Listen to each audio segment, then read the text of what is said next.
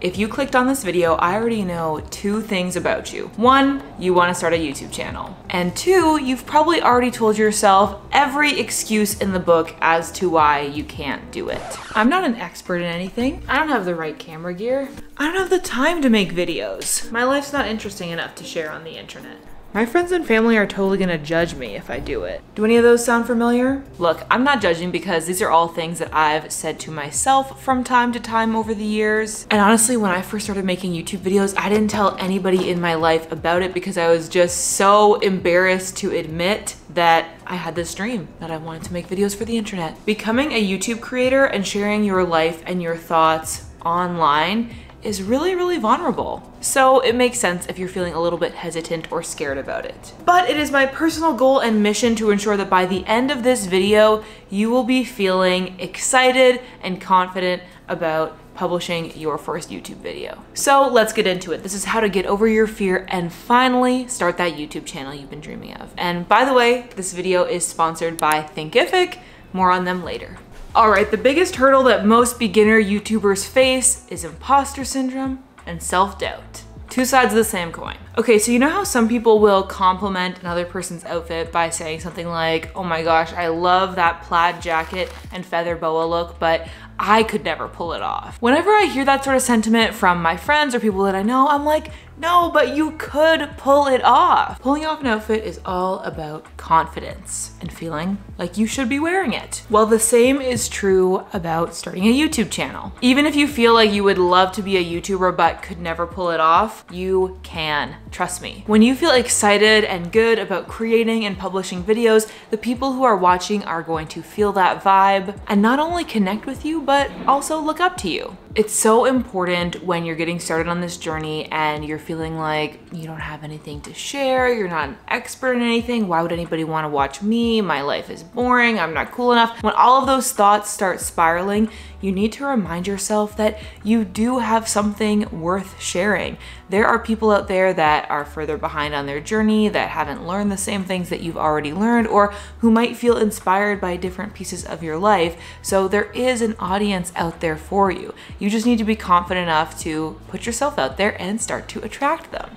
When you push yourself past your comfort zone and fully embrace becoming a content creator, you open yourself up to so many new amazing opportunities, including new ways for you to provide value to your ideal audience and new ways for you to earn revenue. So as a growing creator, I'm really excited to introduce you to the sponsor of today's video, Thinkific. Thinkific is a course and community building platform that allows you to serve your audience with your valuable knowledge. With their user-friendly platform, you can build out video courses, you can build out paid community spaces, and membership programs. And these are game changers when it comes to developing a consistent source of revenue as an online content creator. Now, I'm super excited because I've partnered with Thinkific to give you all exclusive early access to their Black Friday deal. Y'all, Thinkific does not often offer discounts, so this is a big deal. If you sign up using the link in my description, you're gonna get early bird access to Thinkific's Black Friday deal, which is going to include exclusive discounts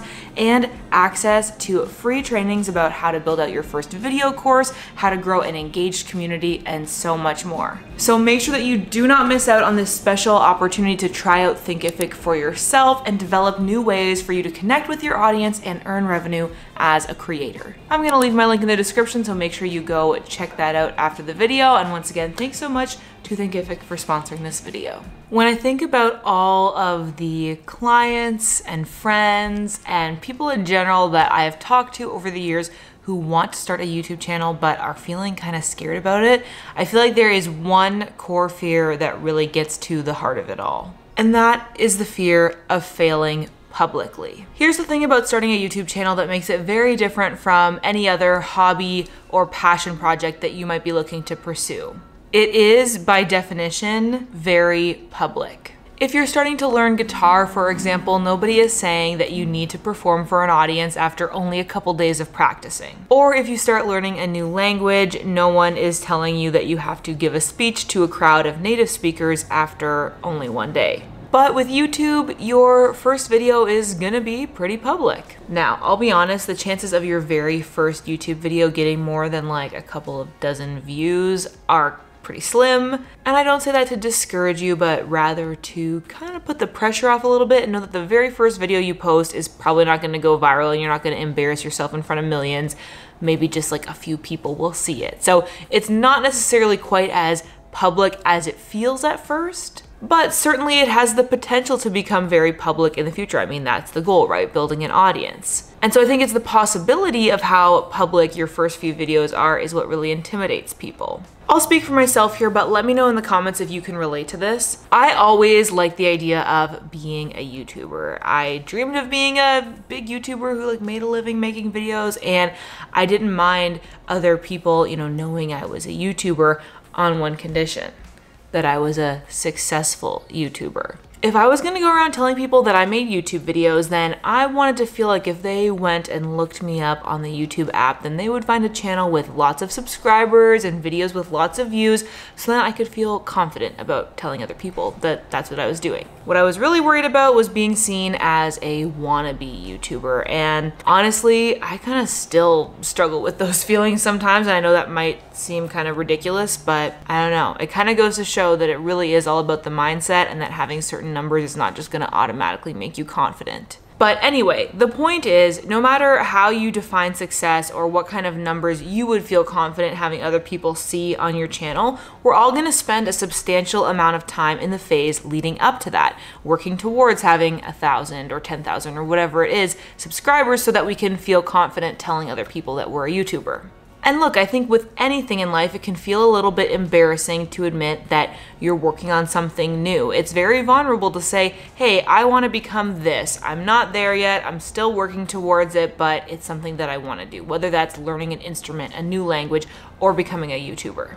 But here's the thing there's no shortcut or way that you can kind of skip the line to success so that you can jump over that embarrassing period of admitting that you want to be good at something, but you're not quite there yet. The only way to push through that phase is to change your mindset and decide to feel confident in that growth phase. When I did this, I was able to fully embrace my journey towards being a creator, and it also opened me up to way more support in my real life as well. I used to not want to tell anybody about my YouTube channel, but once I finally started feeling brave and admitting, you know, I'm working towards this, but it's not quite there yet, my friends were really, really supportive of it. And that kind of gave me the energy and encouragement that I needed to keep moving forward with it. So here's what you need to do you need to learn to be confident being kind of bad at something. And that's okay. I honestly think it's really, really admirable to be able to admit to other people, hey, I'm not really good at this yet, but I'm working on it. A lot of people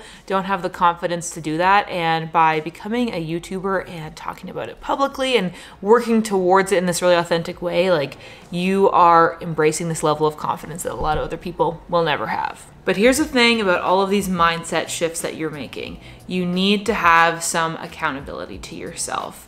And you might need to give yourself a little bit of tough love and just assign a deadline to get started. There's so many nerves and so much buildup around this thing that you've been dreaming of doing, but you've been kind of putting it off because you're worried about it. So the only way to really push through and start doing this is set yourself a deadline and just rip the band-aid off. I promise you that once you post that first video and then you post that second video, it's just gonna keep getting easier every time you publish and you'll feel more and more confident all the time. But the only way to get to that level of confidence is to just get started. When it comes to gaining confidence, other than just, you know, soul searching and finding it within yourself, there are really two practical ways that you can build up confidence around a new skill like being a YouTuber, and that is practice for one, and that comes from just giving yourself a deadline and just getting started and working at it week after week, and you will build up that confidence over time. And the second way is just faking it until you make it. Just deciding that you are gonna be confident that you are a badass, awesome YouTuber and try to embrace that until you really start feeling it. So, if you are ready to get started on your YouTube journey, and let me just say this if you have been looking for a sign telling you that it is time to start, my friend, this is your sign. Go and pick up your phone, pick up your camera, and film that first YouTube video right after watching this because trust me, it is so worth it to embrace this dream that you have and pursue it. And the best time to start was, you know, five years ago, but the second best time to start is today. If you want some more resources or encouragement or support along this journey as a YouTuber, then you can check out my channel. I've got all kinds of videos on YouTube strategy and tutorials. You might want to check out this one next. Make sure that you sign up for Thinkific's Black Friday deal at the link in the description. And as always, thank you so much for watching. I hope that you are having adventures and following your dreams, and I will see you in the next video. Bye!